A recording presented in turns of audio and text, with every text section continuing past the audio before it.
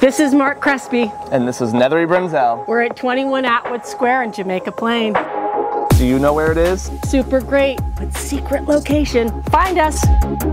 This home is nestled on a quiet street, but is so close to everything that JP has to offer. This unit boasts an open floor plan and a chef's kitchen with JennAir appliances.